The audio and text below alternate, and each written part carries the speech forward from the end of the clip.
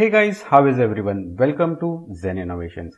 Now, if you live in such a geographical area where your 4G signal is pretty weak and your phone keeps switching between 4G, 3G and sometimes it even falls back down to 2G. Yes, I know it's very annoying. Forget about using YouTube on 2G. So keep watching this video guys where I share you a small trick now I'm going to share a small password. The password will be also there in the description below and to enter the password you don't need any additional apps.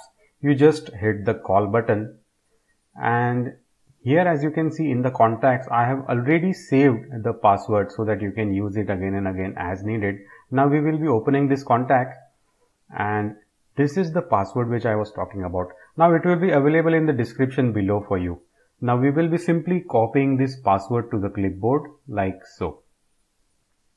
To paste the password, we go back to the dialer and you paste it in this blank space which you can see at the top over here. After pasting the password, we come to this new window which is titled as testing.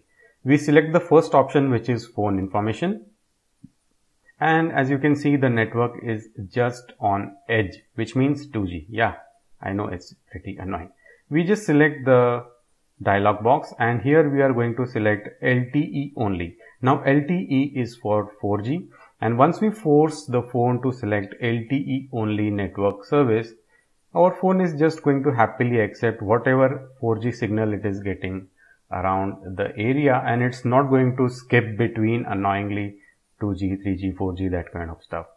So sit back, relax, subscribe to Zen Innovations. I hope you like this video. Don't forget to share this with your friends and have a nice day.